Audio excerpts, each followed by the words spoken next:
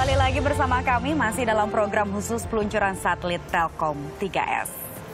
Dan untuk mengetahui lebih jauh soal satelit Telkom 3S dan apa artinya buat Indonesia, kita akan membahasnya bersama Bapak Abdul Karim sebagai uh, Kepala Pusat Teknologi Satelit 8.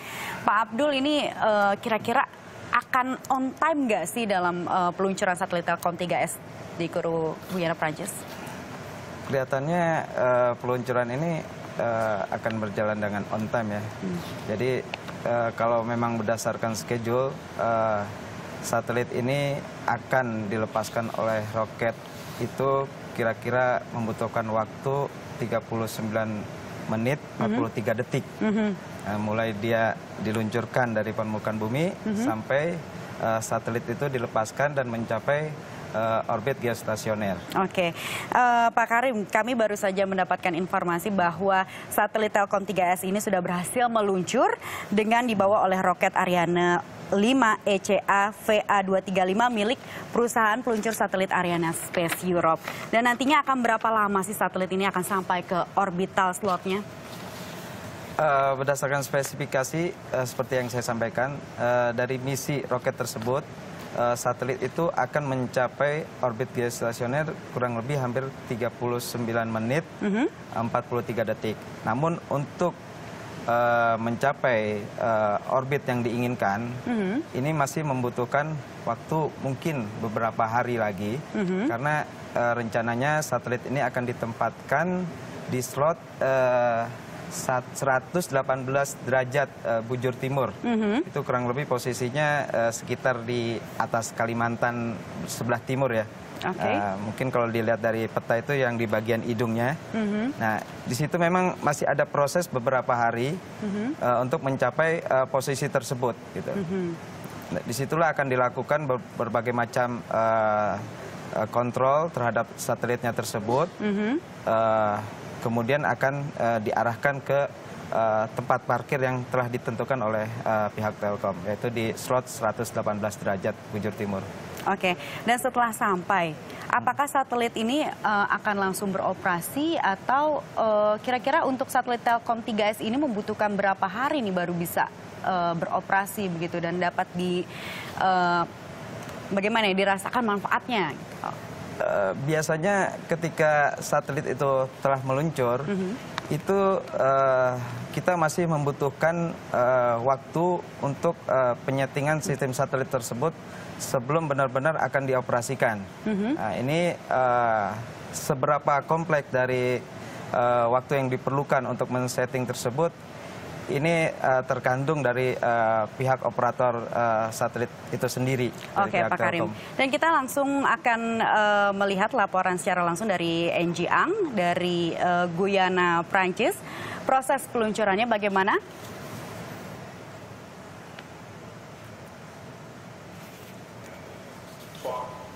Ya. Oke. Okay. Ini dia uh, kita lihat detik-detik proses peluncuran dari satelit Telkom 3S ya uh, Pak Karim.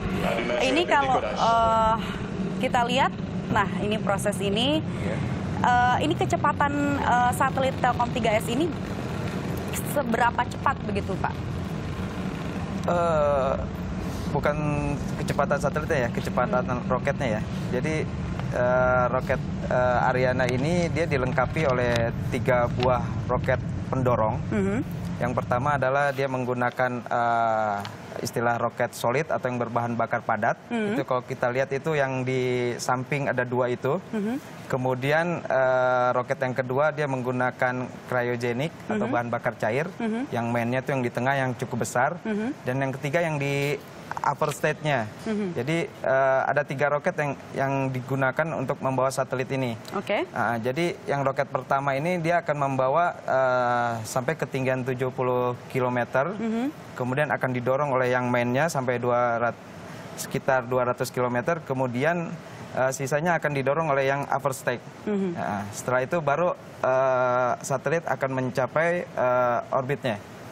Cuman untuk mencapai ketinggian uh, hampir 3.600 3000 36.000 km ini memang ini menggunakan teori transfer orbit. Mhm. Jadi sebenarnya roket itu hanya membawa sampai ketinggian kurang lebih 200 km.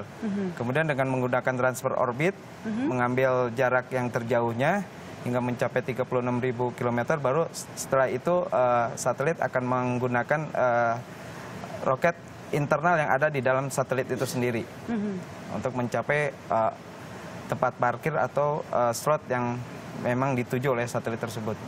Oke. Bagaimana dengan eh, pengisian bahan bakarnya sendiri ini, eh, Pak Karim? Sebenarnya bahan bakar itu sudah disiapkan eh, dari awal ya, sebelum diluncurkan. Nah, semua bahan bakar sudah disiapkan dari dari dari awal. Untuk eh, satelit Telkom 3S ini nantinya itu akan beroperasi berapa lama dan ini eh, berarti bagaimana untuk sistem eh, apa bahan bakarnya yang di, harus disiapkan gitu?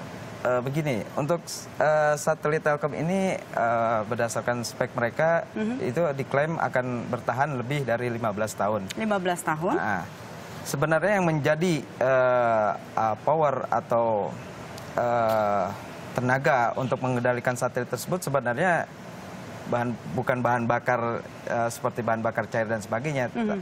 tapi eh, tenaga yang digunakan adalah tenaga surya. Mhm.